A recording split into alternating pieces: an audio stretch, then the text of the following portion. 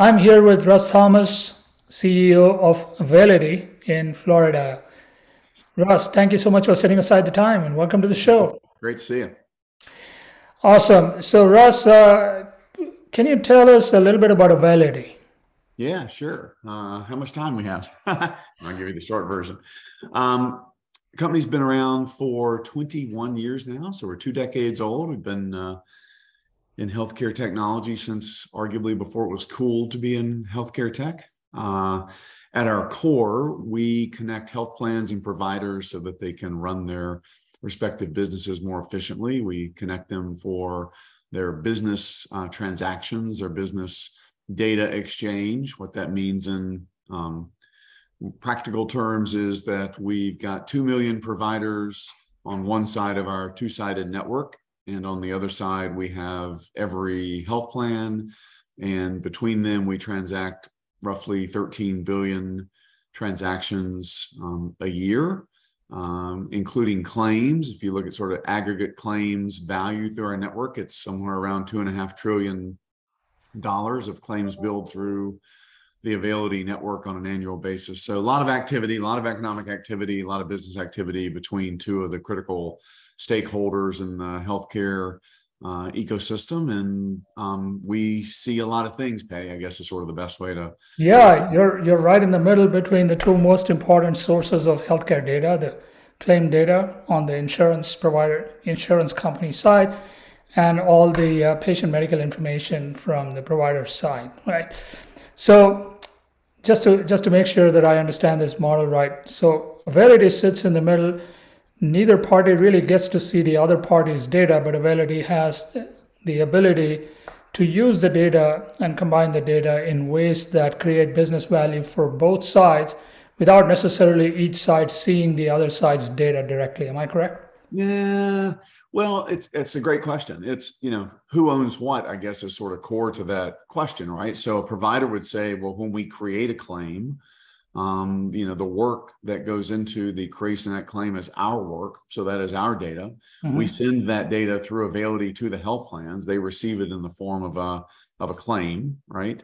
Um, the payer would then say, of course, at that point, the claim becomes theirs, and the corresponding remittance or response you know, is theirs. But then again, when the provider gets that back into their system, well, now suddenly that's their data. So we don't typically get into the sort of who owns what um, uh, debate between health plans and providers. And generally speaking, I think the industry has been fairly practical about these ownership rights when it comes to business workflows and have been more focused on getting the workflow automated than you know sort of haggling over data rights in the context of is yeah. it claims data is it medical data who owns it so is medical data since you mentioned that uh, specifically ehr data also part of the data sets that are covered here yeah precisely so um, historically we've been almost purely administrative data but over the last several years we've began to move more and more medical data which we generally you know sort of generically call clinical uh, data in various forms ACD, CCD, uh, ADT, CCD, you know, a variety of formats. Um, as you may have uh, seen, uh, about a little over a month ago, we closed on the acquisition of Diameter uh, Health, which I'm sure we'll talk about a bit during the podcast. Yeah. But we're very excited about about that because, as you know, right, you're you're incredibly experienced here as well. Um, you know, if you know, people sort of think that structured you know x12 data is very standardized unless you work with it every day in which you realize that it's not really as standardized as you might think that it that it is. I always joke if you've if you've seen one payer uh, implementation you've seen one payer implementation because they're all different. Um, when it comes to clinical data it's still very much the wild west in terms of how data is facilitated created transacted you know named identified i mean there's still a lot of opportunity for to provide structure around clinical data so that it can be used and automated into workflows which is where we are we're very much we're very much focused and, and there is some HIPAA consideration here as well, right? When of course. Uh, what may be one of the, you know, maybe one or two top considerations when it comes to this kind of exchange of data that, that our listeners uh, uh, should yeah. Yeah, great question. And then it plays to a bit of our strategy. So, you know, one thing we've never done, Paddy, is we've never sold data. Uh, we have a lot of claims data. a lot of remittance data, a lot of very valuable data flowing through our networks. Um, but we've always felt like it's better to be a trusted data steward um, than a you know than a data broker. And so, um, just as any firm like ours, you might imagine we you know we take secure information security and privacy uh, very seriously. I think the fact that we've not been in the business of selling data has enabled us to have trust with both sides of the equation, payers and providers, um, which we think is going to let us create some really interesting use cases for data in that business workflow. But to your specific question, um, you know, you have just your core underlying concern of let's make sure the data about the right person is going to the right person at the right time. You know, our network, like any healthcare network, is constantly under some form of assault by people trying to breach it and get into it. So um, we spend a small fortune on information security and, and, and privacy. And then beyond that, I, think it's sort of where you're going. You know, once you move from those standard business transactions, which sort of everybody you know opts into, to how do you really use that clinical data to create a better healthcare system? You got to be super careful about data rights. Um, you know, both in terms of the payer and the provider, as well as the patient, who some would say ultimately, you know, own all the data. Yeah, yeah. So, uh, well, first of all, you know, for those listening uh, who had never heard of Availity, you're one of the best kept secrets in the country, I guess. Been around a long time, run a highly successful yeah. business. Uh, you have some really, really uh, well-known sponsors, uh, big insurance companies, among others.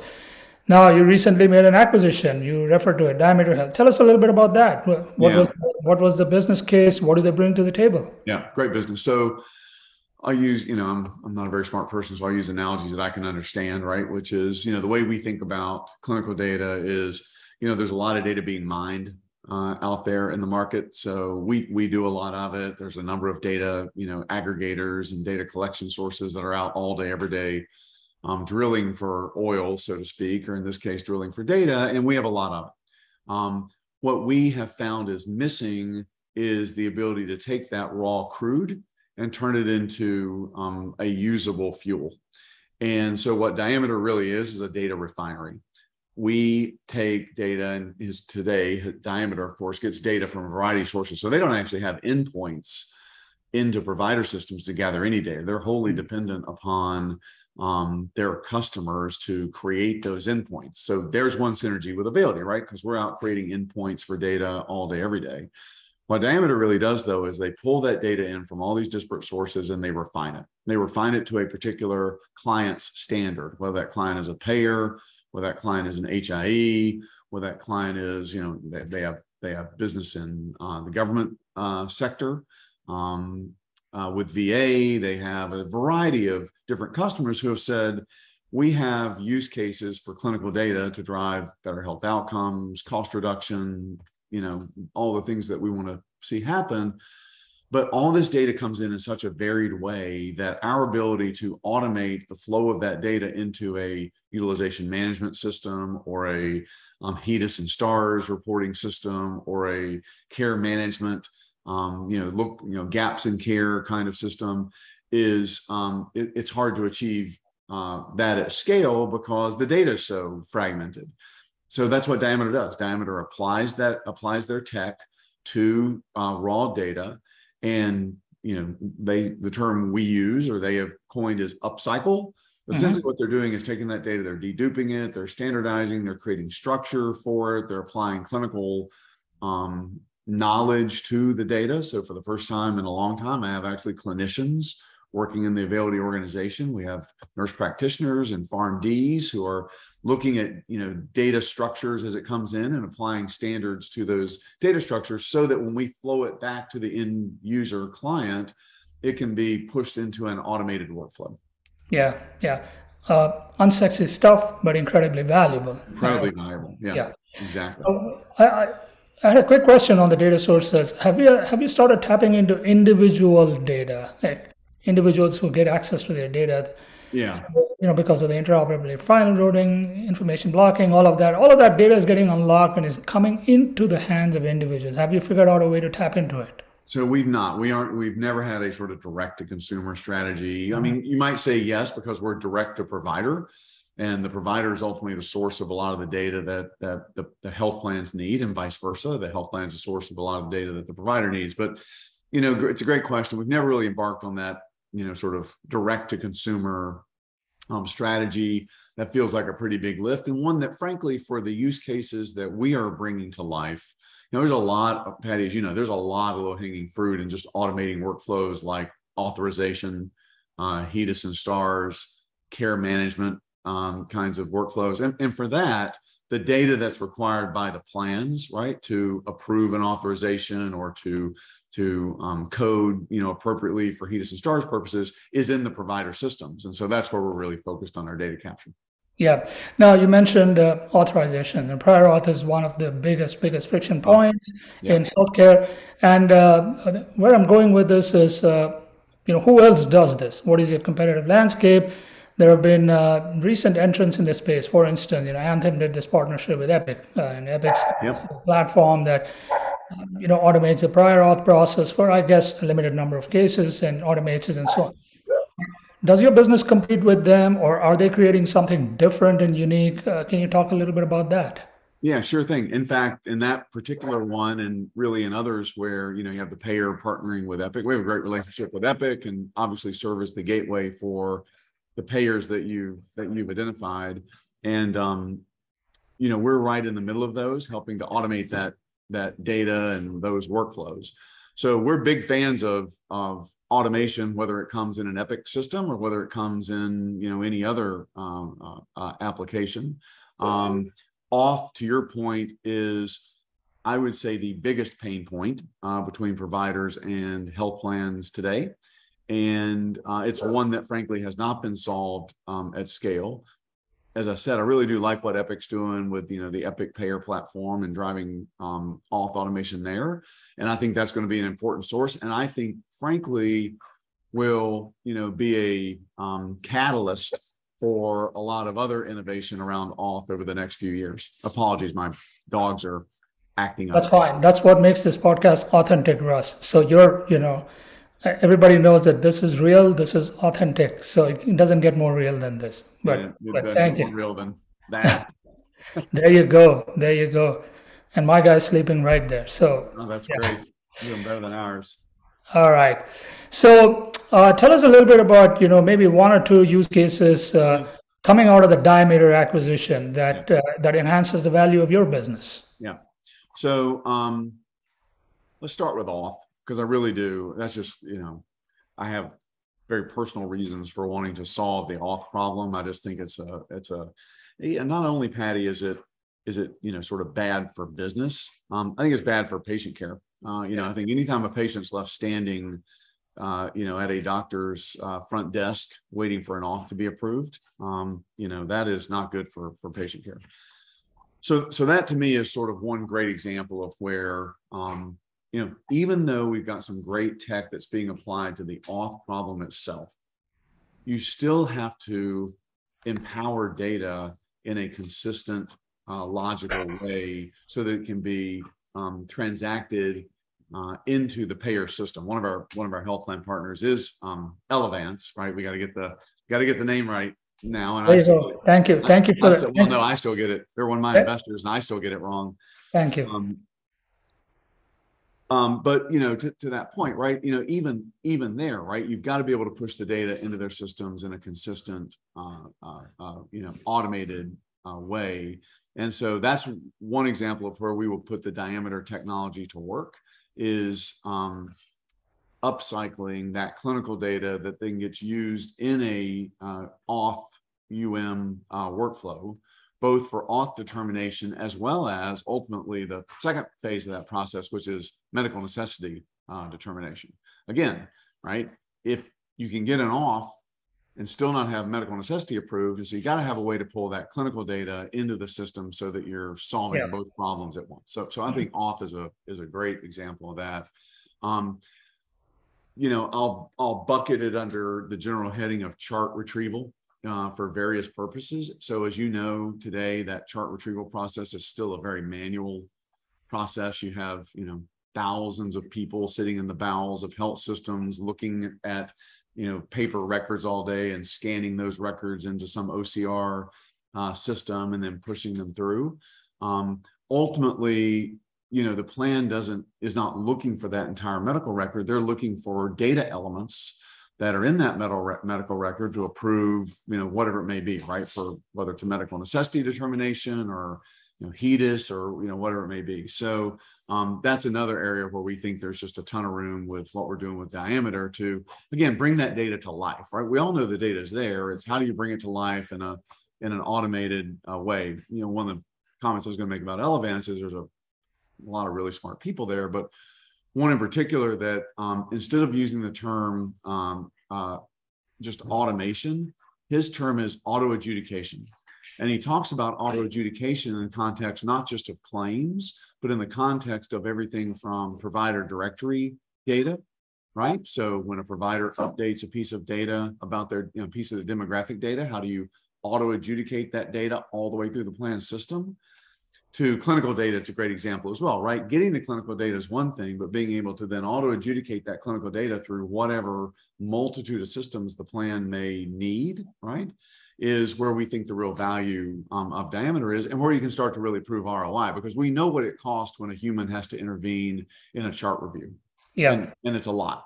So yeah. that's a couple of great examples of how we're gonna how we're gonna. yeah, and these are great uh, financial use cases, right? It's about money, you know, getting prior auth, and making sure that a patient doesn't have to pay more than they need to pay. Insurance, you know, kicks in with their part of the deal, etc. What about the other side of it? Uh, health outcomes, you know, which is the other side of yeah. our whole healthcare system. Uh, today, population health management using you know, increasingly diverse sources of data, whether it's social determinants, yep. demographics, et cetera, et cetera. What what role does your data set and your platform play? Can you talk about that? Yeah, love that. So so um, I love the idea of bringing um, you know disparate data sources to life around total um, total care management. You know, so, so I'll get on my soapbox for just a minute, Paddy. Right? You know, one of the things that frustrates me about the U.S. healthcare system is it is by and large a reactive uh, healthcare system, right? We treat symptoms, we treat diseases, you know, we treat specific diseases. We don't treat real conditions of, you know, human health. And, uh, you know, I'm personally very um, interested and, you know, trying to get a lot smarter around things like longevity, right? What can we do to prolong? You know, I'm turning um, I, am having a generational uh, yeah. decade change. I, I, I, thought they came up with a supplement that does that. Anyway, I could be yeah, wrong. exactly. Right. So, so, but, but again, to your point, right? And I think one of the reasons that we aren't more proactive in um, managing care and paying for the management of care proactively is it's really hard to prove return on investment right? We know all day long that if somebody has, you know, high blood pressure, you know, treating it with a, you know, pharmaceutical product, right, um, is going to help. You know, treat it. You know, if you have high cholesterol, treat it with a statin. But we don't do anything to get at the underlying um, conditions which are which are causing that. And so I'm very excited about the notion of being able to go out and get a lot of differentiated data on people and bring it into this central repository. We talk here at Availity about the, you know, one patient health record, right? That is not just what's happened to you, um, you know, uh, uh, you know, sort of retroactive to becoming sick, right? So, you know, I'm ill and now I'm being treated, but how do we proactively enable providers to know what they need to know about you when you come in, you know, instead of just this, well, how are you feeling today, right? I want my doctor to be able to look at a chart and go, okay, I've been tracking your hemoglobin A1C, or I've been tracking your your um, your uh, your glucose level for the last three months, I see where your spikes are. Now let's talk about your diet and way that ways that we can do things and test things to reduce those spikes. Yeah. That yeah. to me is a healthcare system. Now, then the question is, where does Availity play in it? Yeah. And I think for now, at least, where Availity plays in that is in a, I don't want to say sort of retrospective, but you ultimately have to have a way to measure what you're getting value from that. And total cost of care, I think, is a way that you look at them over time. And so our ability to look at claims and do analytics across claims. Bella, come here. Sorry. Do analytics across claims and know what's going on with the patient after the fact is where you get a lot of value. Yeah, yeah.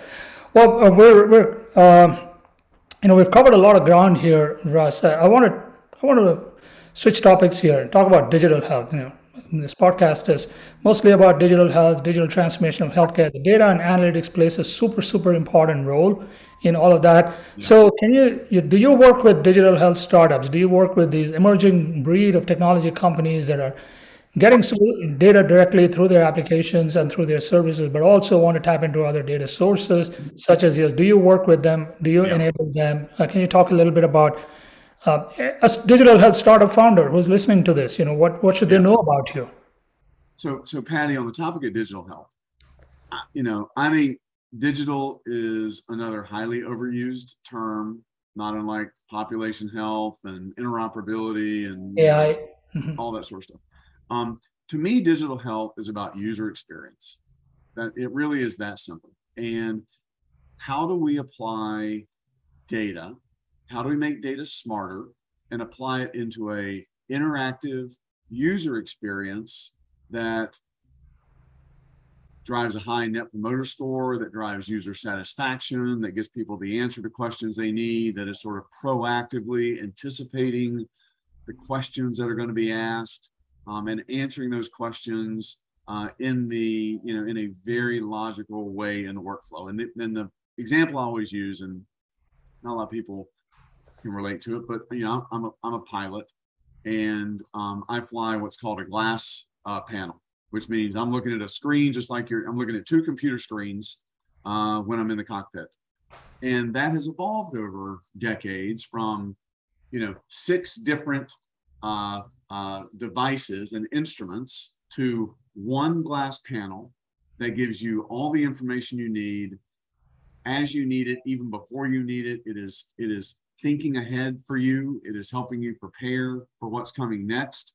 It's answering questions intuitively um, it's applying analytics to the data that's coming in to give you routing information and all sorts of stuff right and i think the true the same needs to happen today today in healthcare i think we're still very analog in the way that providers and health plans uh, interact with each other. So, so where we're investing as a company is in two particular areas.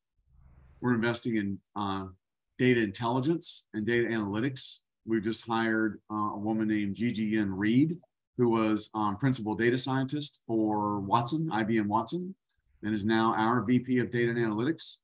Uh, we're building a team around her. Their job is going to be to take 13 billion data points and make them smarter, more intuitive, more interactive to extract insights and knowledge from, from all the data flowing through our network.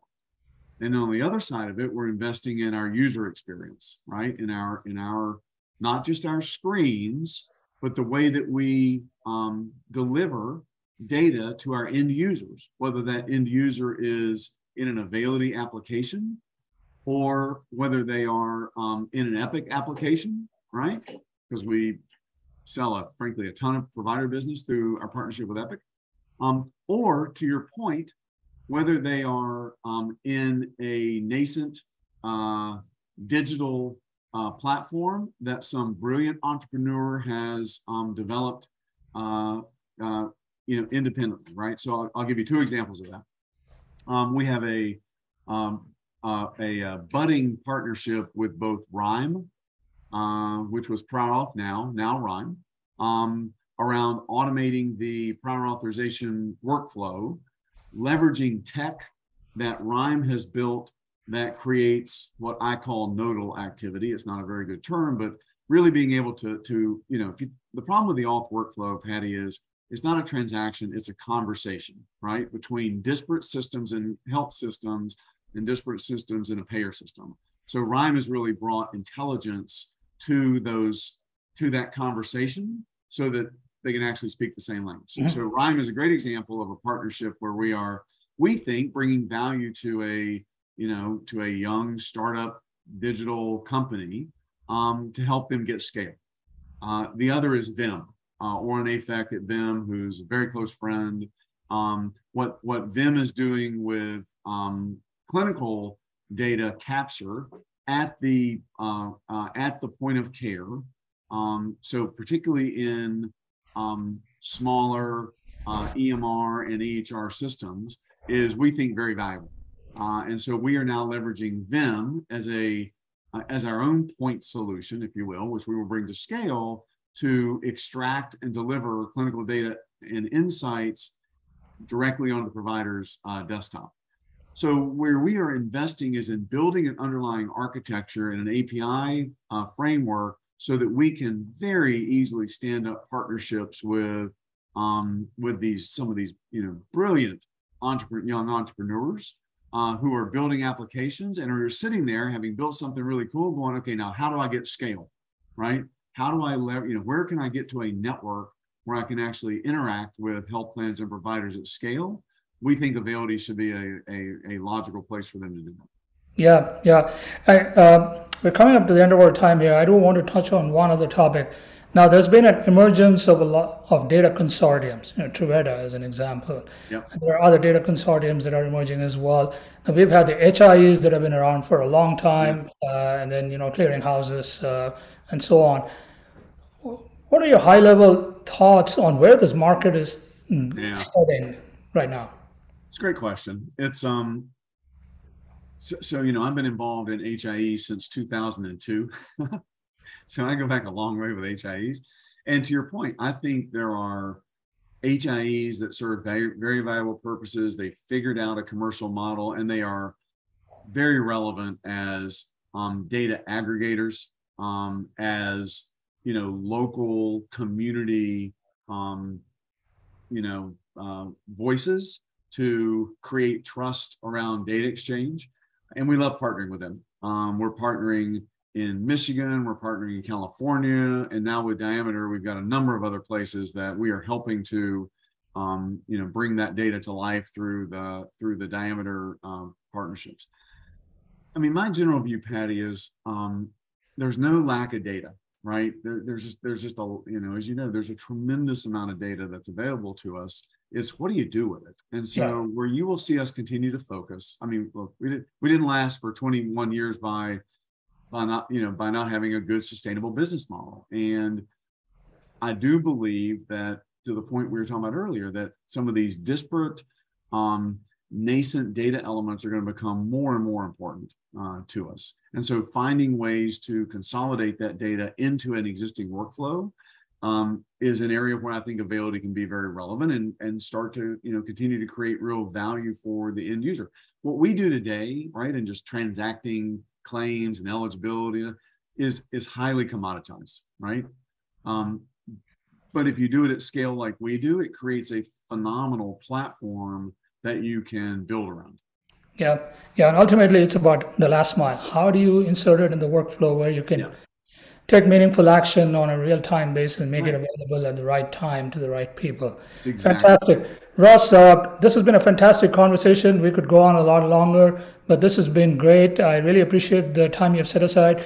All the very best to you and uh, the Diameter team and the acquisition, and hope everything works out fantastically well. We'll be following your success. well, thank you, Paddy. It's been great to join you today. Bye now.